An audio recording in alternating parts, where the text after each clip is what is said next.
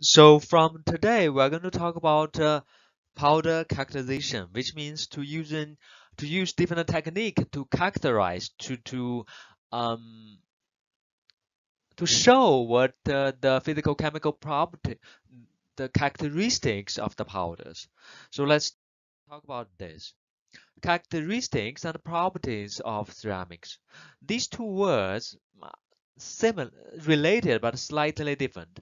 Characteristics of a material means, if we read it, parameters that uh, specify specify the chemical or physical aspects of its composition and structure.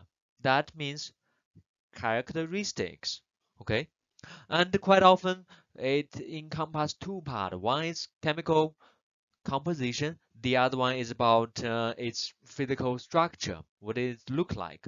And properties of a material means something different. It means its response, the material's response, in this case ceramics, to change in physical or chemical environment. That means properties. It's related but slightly different. And properties quite often we mean thermal properties, mechanical properties, chemical properties, or electrical properties. But here in this kind of section, we are more interested in characteristics, its composition and structure, and how are we going to characterize them using different tools to analyze them to know what um, the features are.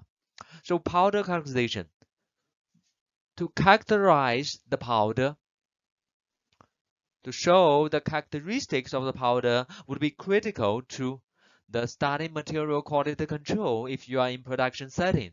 Okay, you control the particle size or you control the the composition, purity, and also control the microstructural control uh, of the final ceramic body. If we, we control these things.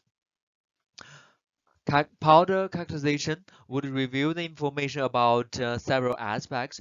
One is chemical composition, what are the phases? What are the impurity elements or impurity phases? Phase compositions such as whether it's aluminum oxide or silicon dioxide, whether it's graphite versus diamond. Okay, phase, major and the impurity elements and contents.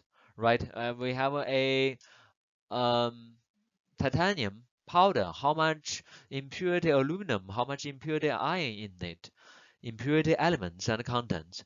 Other impurities, for example, your powder, how much absorbed moisture, absorbed carbon dioxide gas in the system.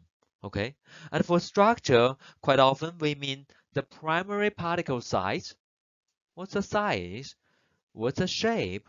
And what's the size distribution for the powder that we are handling for the primary particle. And sometimes the smaller particles, they come together, bonded softly or, or strongly into larger so-called granules.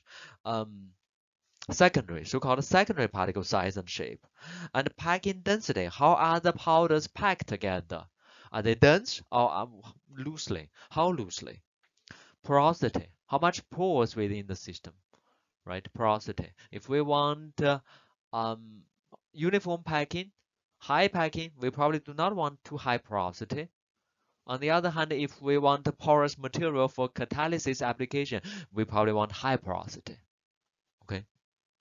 Specific surface area, which is related to the particle size and also relates to features such as sinterability or catalyst uh, activity.